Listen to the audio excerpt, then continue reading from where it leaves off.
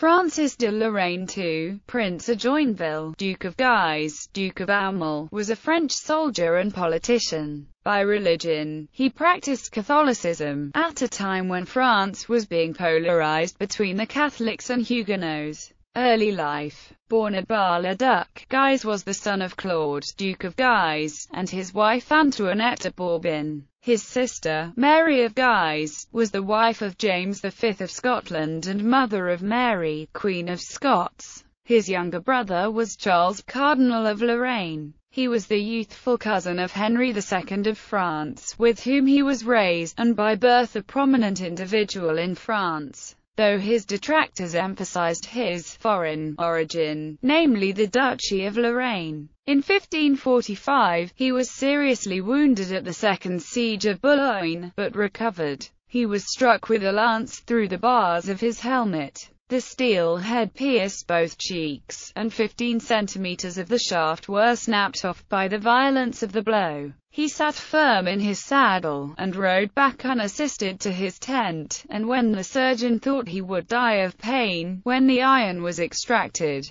he bore it as easily as if it had been but the plucking of a hair out of his head. Asterisk Francis of Lorraine bore the scar of that wound to his grave but he lived to repay the stroke by waving the fleurs de lis on the battlements of Calais, while the remnants of the last English garrison were taking leave forever of the soil of France. In 1548 he was magnificently wedded to Anna d'Este, daughter of the Duke of Ferrara, Ercole II d'Este, and French princess, Renée, the daughter of Louis XII. Military career In 1551, he was created Grand Chamberlain of France. He won international renown in 1552 when he successfully defended the city of Metz from the forces of Charles V, Holy Roman Emperor, and defeated the imperial troops again at the Battle of Renty in 1554, but the Truce of Vaucelles temporarily curtailed his military activity. He led an army into Italy in 1557 to aid Pope Paul IV, but was recalled to France and made a lieutenant general of France after the defeat of the Constable de Montmorency at the Battle of St. Quentin. Taking the field, he captured Calais from the English on 7 January 1558, an enormous propaganda victory for France, then Thionville and Arlon that summer, and was preparing to advance into Luxembourg when the Peace of Cateau-Cambrésis was signed. Throughout the reign of Henry II Guise was the premier military figure of France, courteous, affable and frank, and universally popular. The Grand Duc de Guise, as his contemporary Brantome called him. The accession of Francis's niece Mary, Queen of Scots, and her husband, Francis II of France, however, was a triumph for the Guise family, and the Grand Master of France Montmorency was disgraced and sent from court. The Duke of Guise and his brother, Charles, Cardinal of Lorraine were supreme in the royal council. Occasionally he signed public acts in the royal manner, with his baptismal name only the wars of religion. In reaction to the power at court of the ultra-Catholic Guise, La Renaudie, a Protestant gentleman of Perigord,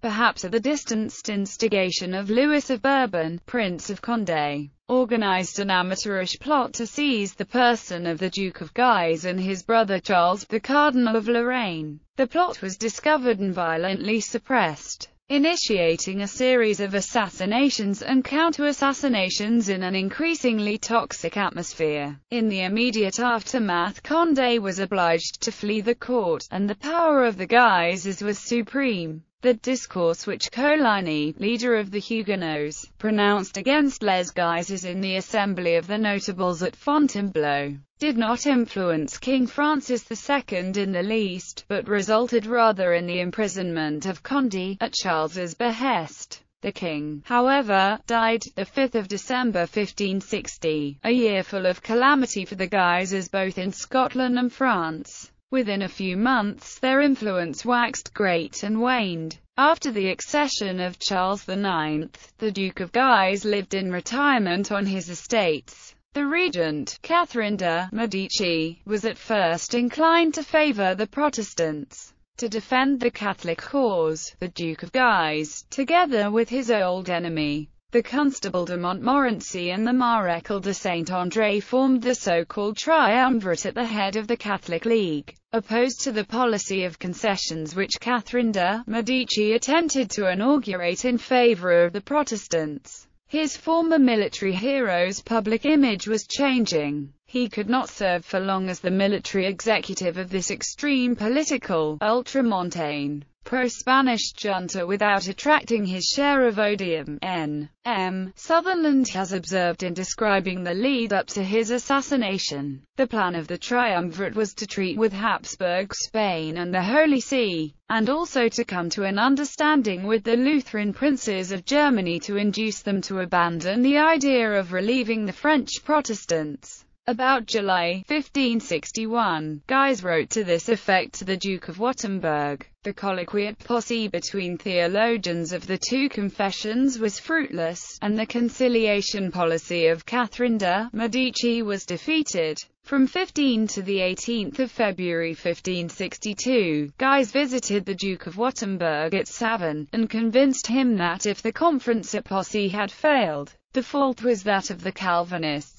As Guise passed through Wassy-sur-Blaise on his way to Paris, a massacre of Protestants took place. It is not known to what extent he was responsible for this, but the massacre of Vassy kindled open military conflict in the French Wars of Religion. The siege of Bourges in September was the opening episode. Then Rouen was retaken from the Protestants by Guise after a month's siege, the Battle of Dreux, at which Montmorency was taken prisoner and Saint-André slain, was in the end turned by Guise to the advantage of the Catholic cause, and Condé, leader of the Huguenots, was taken prisoner. The assassination. In the fourth encounter, Guise was about to take Orleans from the Huguenot supporters of Condé when he was wounded on 18 February 1563 by the Huguenot assassin, Jean de Poltrot de Remy acute acute, and died six days later, bled to death by his surgeons, at Chateau Corny. It was not the first plot against his life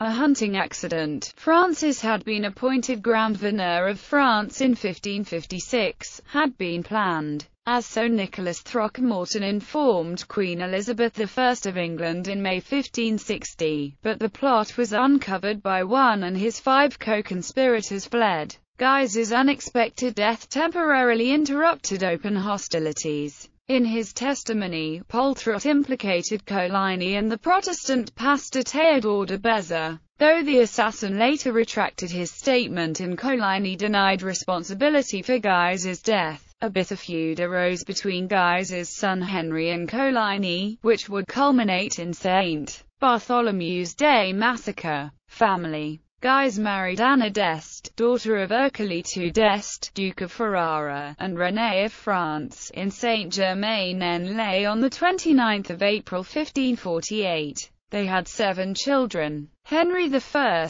Duke of Guise, who succeeded him as Duke of Guise. Catherine, married on 4 February 1570 Louis, Duke of Montpensier, Charles of Lorraine, Duke of Mayenne, Louis II, Cardinal of Guise, Archbishop of Reims, Antoine, François, Maximilian. Ancestry